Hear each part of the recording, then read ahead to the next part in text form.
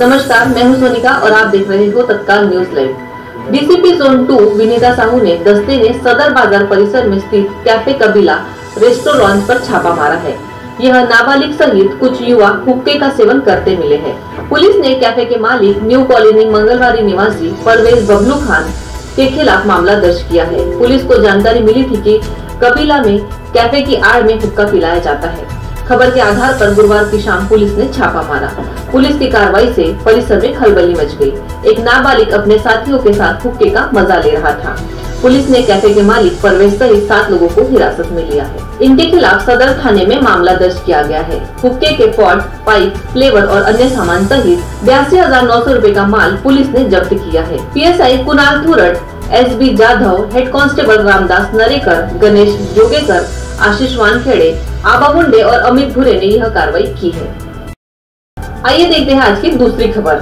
JEE main की तैयारी कर रहे सीट के स्टूडेंट्स का इंतज़ार अब खत्म हो चुका है। 17 जुलाई को जेईई मेन होगी। छात्रों ने तारीख तय होते ही अपनी तैयारी तेज कर दी है।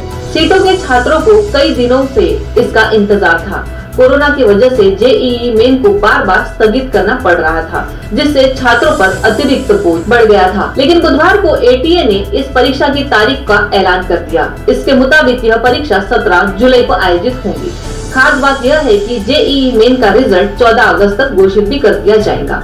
जानकारों और कोचिंग संचालकों का मानना है कि इस बार जेईई मेन की तैयारी करने वाले छात्रों की संख्या पहले की तुलना में बढ़ गई है। करीब आठ से दस हज़ार सीटों के छात्र इस परीक्षा में शामिल होंगे। इसके लिए सिटी में आधा दर्जन से अधिक एग्ज़ाम के सेंटर भी बनाए जाएँगे। रिज़ल्ट घोषित होने के बाद तीन चरणों में कैंडिडेट्स की काउंसिलिंग पूरी की जाएगी। काउंसिलिंग की प्रक्रिया 15 सितंबर तक पूरी करने का प्लान है। लंबे समय से छात्र इंजीनियरिंग में प्रवेश करने के लिए होने वाली इस परीक्षा की तारीख का इंतज़ार कर रहे थे। पहले यह परीक्षा अप्रैल में होने वाली थी, लेकिन कोरोना की दूसरी लहर और लॉकडाउन के कारण इसे स्थगित करने का फैसला किया गया। कोरोना के खतरे के कारण जेईई नीट समेत कई प्रवेश और प्रतियोगिता परीक्षा को स्थगित कर दिया गया था, जिससे छात्रों का टेंशन बढ़ गया था। सरकार ने यह फैसला छात्रों की सुरक्षा के मद्देनजर लिया था। कोरोना की वजह से तमाम केंद्रीय और राज्यों के बोर्ड ने दसवीं और बारहवीं की बोर्ड की परीक्षाओं को भी रद्द कर दिया।